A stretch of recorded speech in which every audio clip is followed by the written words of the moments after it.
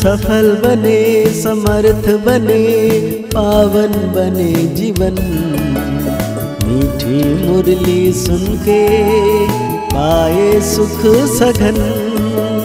आज का चिंतन, आज का चिंतन, आज का चिंतन। आज का चिंतन, आज का चिंतन। ओम शांति। गुड मॉर्निंग स्नेह का सागर शिव बाबा जन्म जन्म का विकर्म विनाश करने वाले सर्वशक्तिवान बाबा, आज हम बच्चों को कह रहे हैं, तुम्हें अभी नया जीवन मिला है। पुराने जीवन बदल गया है। नया साल है, नया वर्ष है तो हमारा नया जीवन भी मिला संगमी पर। बाबा क्योंकि तुम अब ईश्वरीय संतान बने हो, तुम्हारी प्रीत एक बाप से है।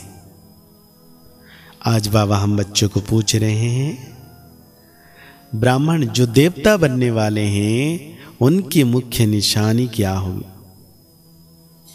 बाबा वो ब्रह्मा के मुख वंशावली ब्राह्मण सभी एक मत वाले होंगे। उनमें कभी मतभेद नहीं हो सकता। आपस में फुट नहीं पड़ सकती। लौकिक में जो ब्राह्मण कहलाते हैं, उनमें तो अनेक मत होती है। कोई अपने को पुष्करणी कहलाते, कोई सारा सिद्ध। तुम ब्राह्मण एक बाप की मत से देवता बनते हो। बाबा कहते हैं, देवताओं में कभी फुट नहीं पड़ती। आज बाबा ने बहुत प्यारा सा गीत याद किए हैं। जिस दिन से मिले तुम हम, जिस दिन से मिले तुम हम, नया दिन लगे, नई रात लगे नया दिन लगे रे, नई रात लगे रे, नई नई लगे पूनम। जिस दिन से मिले तुम हम, नई प्रीत लगे, नया गीत लगे, नई प्रीत लगे रे, नया गीत लगे रे, नई नई लगे सरगम। जिस दिन से मिले तुम हम, जिस दिन से मिले तुम हम। बाबा कहते हैं, जब जीव आत्माएँ और परमात्मा, अथवा बच्चे और बाप मिलते हैं तो नई प्रीत हो जाती है, क्योंकि और संग प्रीत टूट जाती है। बाबा कहते हैं, जैसे कन्या की पहले तो पियर घर से प्रीत होती है और सगाई होने से नई प्रीति जुड़ती है। उनके लिए सारा ससुर घर नया होता है। नई दुनिया की नई प्रीत जुड़ती है तो सारे नए परिवार से प्रीत जुड़ जाती है। अब गायन भी है। आत्माएँ परमात्मा अलग रहे बहुकाल। यह सुंदर मेला है नया। यह घर नया, यह संबंध नया। तुम जानते हो हम ब्रह्मा कुमार और ब्रह्मा कुमारियाँ। शुद्र कुमार और शुद्र कुमारियाँ अब नहीं है, क्योंकि बाबा का ज्ञान मिला, जीवन शुद्ध धारणाएँ धारण की है, इसलिए हम ब्रह्मा कुमार बन गए। बाबा कहते हैं, ब्रह्मा और ब्रह्मा कुमार कुमारियाँ का आपस में कितना लव है, क्योंकि यह हो गए ईश्वरीय संतान। ईश्वर तो है निराकार, उनके साथ लव तो साकार में चाहिए ना। निराकार को कैसे लव करेंगे? आत्मा शरीर से अलग हो जाती है तो लव नहीं होता। आत्मा और परमात्मा जब साकार में मिले तब लव हो। निराकार रूप में भल गाते रहते हैं, तुम मात पिता हम बालक तेरे। तुम आओ तो तुम्हारी कृपा से हमको सुख गनेरे। मिले, पतित पावन आओ गाते हैं ना। बरबर भारत महान था तो अथा सुख था। बाबा कहते हैं उसका नाम ही था सुखधाम। यह है दुखधाम और जहाँ आत्माएँ रहती है, वो है शांतिधाम। वहाँ तो आत्माएँ पवित्र ही रहती है। अपवित्र कोई आत्मा रह नहीं सकती। तुमको बाप मिला है तो नया जीवन मिला है। पुराना जीवन बदल गया, अब नया जीवन। बाबा, नया साल में सब कुछ नया नया वरदान, सब कुछ हम बच्चों को दे रहे हैं। तो नया जीवन, नया घर, सब कुछ नया। तो सुख भी नया, पूरा सतयुग में संपूर्ण सुख मिलता है। भगते, हम आत्माएँ भी परमधाम में रहने वाले परमपिता परमात्मा के बच्चे थे, ये स्मृति रहनी चाहिए। घर तो हम सबका वही है, घर भी सबको याद है। कोई मरता है तो कहते हैं, फलाना पार निर्वाण गया। वो है वाणी से परिस्थान सूर्य चाँद की जहाँ गम नहीं। हम वहाँ के रहवासी हैं। अब बाबा को याद करते रहते हैं। जब बाप आते हैं तो नई बातें फिर से सुनाते हैं। मनुष्य इस ड्रामा को जान जाए तो बोले, हम जो कदम उठाते हैं सेकंड बाई सेकंड नया है। बेहद का ड्रामा फिरता रहता है। तो बाप आकर नई बातें सुनाते हैं। तुम बच्चे को त्रिकालदर्शी त्रिनत्री बना रहा हूँ। बाबा, हम बच्चों को कितना ऊंच उठा रहे हैं, कितना श्रेष्ठ ज्ञान दे रहे हैं। बागते, तुम त्रिलोकी के मालिक ही नहीं बनते हो। बा, ब्रह्मांड के मालिक हैं तो त्रिलोकी का भी मालिक हैं। ना, क्योंकि तीनों ही लोग का नॉलेज देते हैं। तुम विश्व के मालिक, महाराजा, महारानी बनते हो, त्रिलोकी नहीं। त्रिलोकी अर्थात तीनों लोगों को जाना जाता है। मालिक तो एक लोग मतलब स्वर्ग का बनते हो। तो यह है नई नई बातें, जो कभी ना सुना था, ना कभी सुना सकता कोई। बाबा के बच्चे बनते ही हो बरसा लेने के लिए। कोई कभी यह समझाना बड़ा सहज है। भगवत पूछो, भगवान से तुम्हारा क्या संबंध है? भगवान से तुमने क्या पाया? जो इतना भगवान को याद करते हो। तुम्हारी यह है ईश्वरीय संप्रदाय। परंतु जो ईश्वरीय संतान बनकर फिर ईश्वर को फारकती दे देते हैं, वो फिर आसुरी संप्रदाय बन पड़ते हैं। एक बारी बाबा ने कहा, एक बारी मम्मा बाबा कहा, ज्ञान सुना तो उनको ज़रूर वर्षा मिलेगा।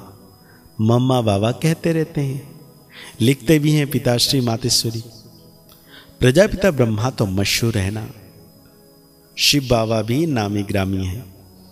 आत्मा कहती है गॉड फादर बाप कहते हैं, मैं पहले पहले प्रजापिता ब्रह्मा को एडप्ट करता हूँ। बाबा कहते हैं, यहाँ तो एक को ही बहुत फीचर्स बना देते हैं। यहाँ बहुतों के नाम राधा कृष्ण है। परंतु समझते थोड़ी है। राधा कृष्ण तो स्वर्ग के फ़र्स्ट प्रिंस प्रिंसेस का नाम है। हम तो पति थे, हम कैसे यह नाम रख सकते हैं? तो शिव बाबा यह नई नई बातें सुनाते नई दुनिया के लिए यह नई बातें। नया ज्ञान है। बाप कहते हमने ही कल पहले भी नई बातें सुनाई थी, अब फिर सुना रहे हैं। तुम अभी सुन रहे हो, तुम देवी देवता बन जाएँगे तो फिर यह ज्ञान खलास हो जाएगा। इतनी ऊँची पढ़ाई है। यह भी गाया हुआ है, आश्चर्यवत अपने बाप के बनंती सुनंती, औरों को सुनावंती, फिर भी यह अहमाया भागंती हो जाते। फिर किसको यह कह भी नहीं सकते कि वी के के पास चलो। यह भी ड्रामा में नूंद है। नथिंग नहीं। बाबा कहते ड्रामा में अगर कोई कुछ हो जाता है तो उसमें नथिंग न्यू समझना है, ना कि उसमें अटक जाना है। यहाँ तो ब्रह्मा के बच्चे, ब्राह्मण ही ब्राह्मण है, और कोई फूट इसमें पड़ती नहीं। दूसरे ब्राह्मण में फूट पड़ती है, इनमें नहीं। ना कभी देवताओं में फूट पड़ती है। सूर्यवंशी, सब सूर्यवंशी, मतभेद की बात ही नहीं है। फूट में कितना नुकसान होता है। तो बाप से तुम यह नई नई बातें सुनते हो ना। कोई गीत नहीं गाते हैं, नॉलेज देते हैं, नए प्रकार के, सारे सृष्टि चक्र के नॉलेज देते हैं। बाकी तो इनको धारण करनी है।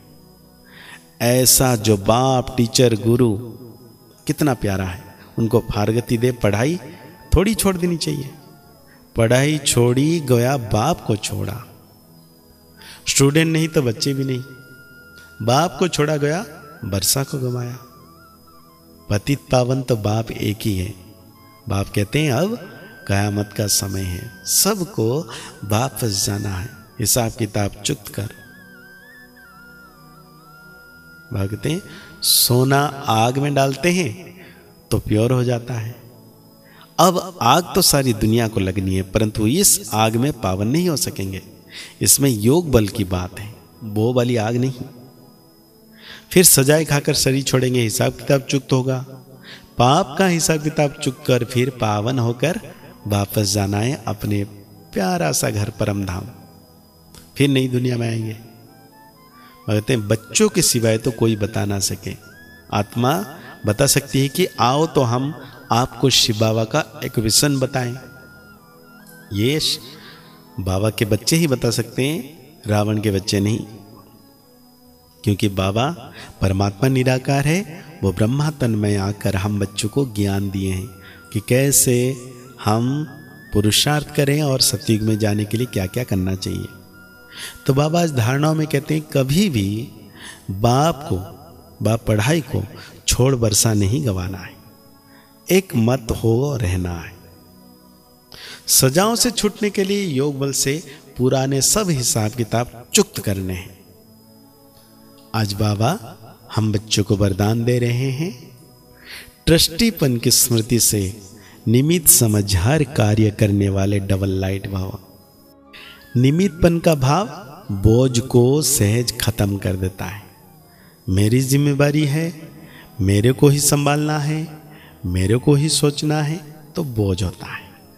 जिम्मेवारी बाप की है और बाप ने ट्रस्टी अर्थात निमित बनाया है। स्मृति से डबल लाइट वन उड़ती कला का अनुभव करते रहो।